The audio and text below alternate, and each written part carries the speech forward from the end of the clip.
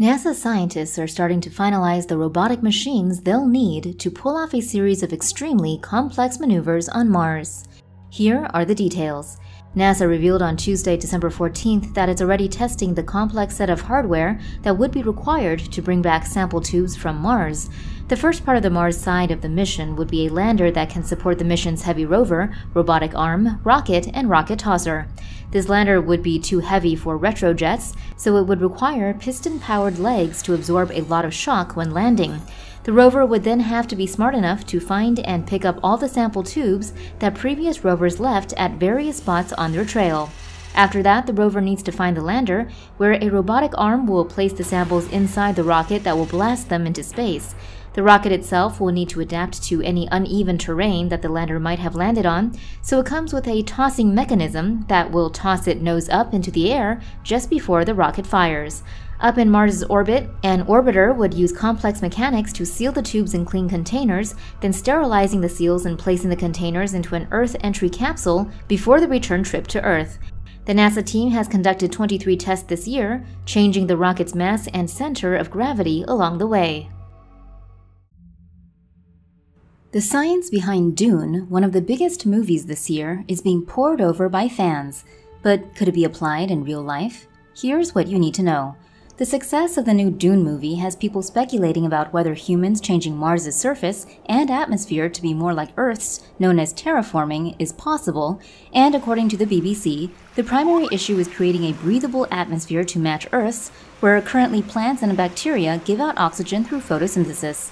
For Earth, large scale oxygenation initially occurred 2.3 billion years ago when bacteria began releasing oxygen as waste, according to the Nature Communications Journal.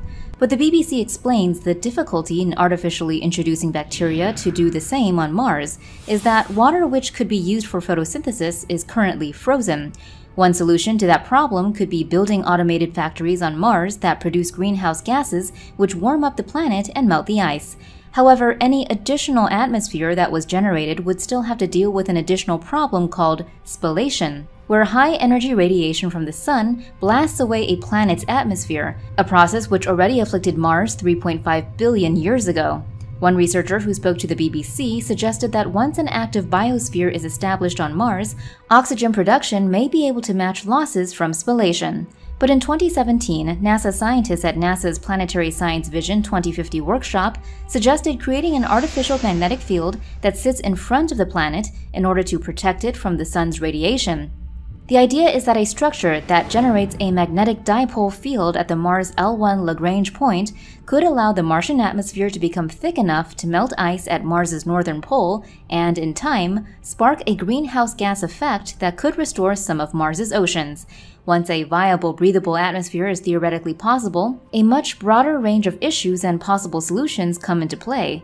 First, there is the issue of how to get either humans or human stuff up there.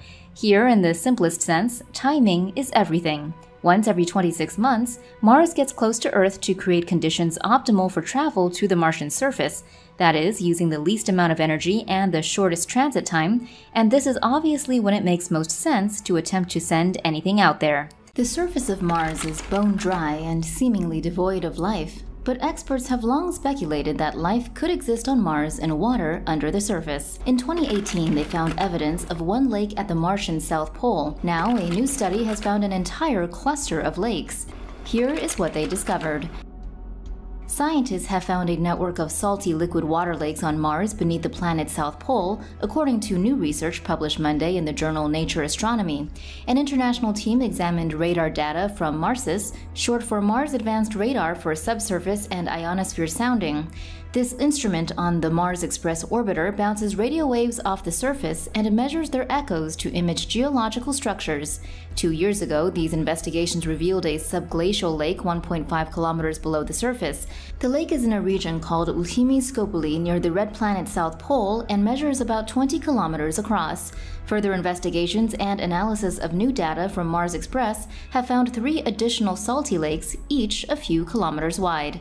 Because Mars lacks a substantial atmosphere, the resulting low pressure on the planet's surface makes it impossible for liquid water to form. But the planet had seas and lakes billions of years ago, and liquid water could still exist under the surface. This water would likely be saturated with salts, which would keep it liquid at temperatures as low as 150 degrees Kelvin.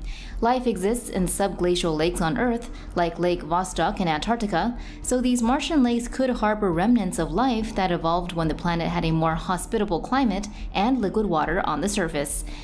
This new study comes just a few weeks after scientists reported finding potential signs of life in the clouds of Venus. After a perfect touchdown via self-destructing rocket Cradle, NASA's newest rover is set to start doing some amazing things on Mars. Here are the details. The BBC reports that the first task of NASA's Perseverance rover on Mars is to send back data so technicians can check to see if any systems were damaged during its rough journey. After that, the rover's mast must be raised. Then, the software that got the vehicle to Mars must be exchanged for software that enables the robot to drive across its surface. Perseverance's next step would be to take many pictures over the next week as scientists seek to assess the nature of the nearby terrain. One near term objective will be to run a helicopter experiment. Perseverance carried with it a mini chopper that will attempt to make the first powered flight in another world. Only after this will the robot get on with the serious business of its mission. It will head to the vast delta feature that scientists want to analyze. Deltas are built by rivers as they push out into a wider body of water and dump their sediment. Scientists are hoping that trapped in the material that built this delta are the telltale signatures of past biology. The rover will sample the sediment and test it for signs of alien life. For more news animations and explainers, hit the subscribe and bell button to join the Tomo News family. Thanks for watching.